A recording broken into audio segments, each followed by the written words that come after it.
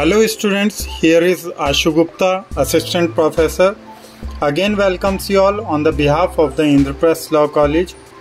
In today's lecture, uh, we are going to discuss about the grounds for the intervention. We have already discussed about the meaning and the kinds of intervention in the previous lecture. You may see it from these lecture series about the meaning or, or the kinds of the intervention. Now, in that uh, uh, lecture today, uh, we will cover uh, about the grounds of intervention. What is the grounds for intervention given in this chapter uh, of the international law? So, first of all, there are uh, some types of grounds given in case of any intervention uh, we will discuss uh, one by one about that. The first one is uh, self preservation so self preservation is uh, the uh, topmost ground uh, of any case of intervention wherein the supreme court interest of the state overrides the law the rights of self preservation is more sacred than the duty of respecting the independence of other state. A state has right to interfere in the affairs of another state where the security and immediate interests of the former are compromised.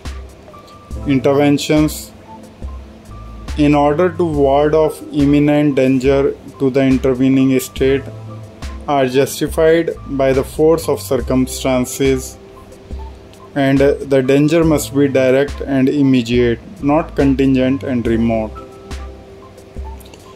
And if we talk about the second ground for intervention is that enforcement of treaty rights if we talk about enforcement of treaty rights, uh, you can say that uh, a state is justified in interfering in the affairs of another state if the provisions of any treaty oblige the former to preserve the independence or neutrality of the latter.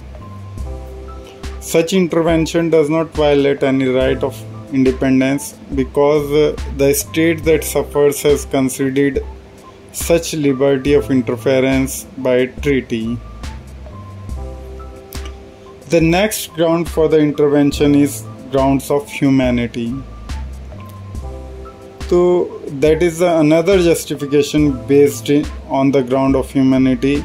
And Lawrence observes that in the opinion of many writers, such interventions are legal, but they cannot be brought within the ordinary rules of international law, which does not impose on states the obligation of preventing barbarity on the part of their neighbors. The fourth ground for intervention is balance of power. In case of balance of power, you may see that the doctrine of the necessity of a balance of power observes Fenwick between the leading states as the basis of mutual self protection dominated the international relations of 19th century.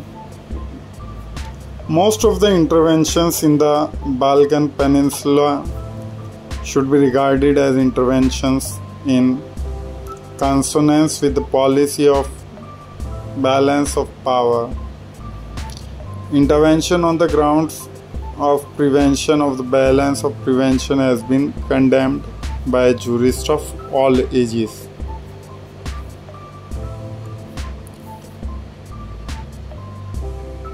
In this continuation, the fifth ground for intervention is protection of persons and property. Protection of persons property and interest of its nationals may provide justification for intervention. The necessity for protection may arise due to gross injustice or due to injury caused by unfair discrimination. The next ground for intervention is civil war in civil wars in in the intervention uh, on the time of civil wars it says that uh, with the establishment of UNO there is no justification for intervention by the individual states in the civil wars of other states. The UN Charter imposes an obligation upon states to refrain in the international relations from the threat or use of force against the territorial integrity or political independence of any state. The next one is collective intervention. It means that at the present time, collective intervention is in pursuance of the provisions of the UN Charter. The enforcement action under the authority of the UN Security Council in accordance with Chapter 7 of the charter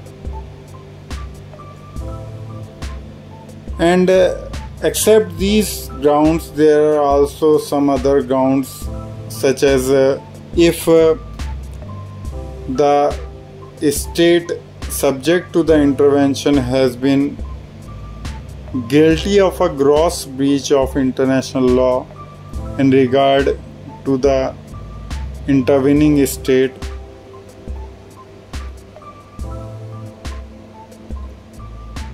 if it has itself unlawfully intervened.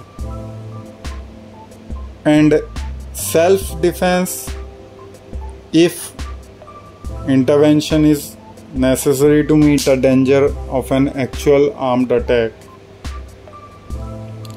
And in the affairs of a protectorate under its dominion.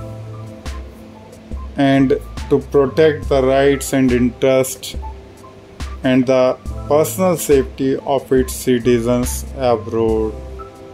So, these are the basic uh, grounds for intervention given in this chapter in the subject of international law.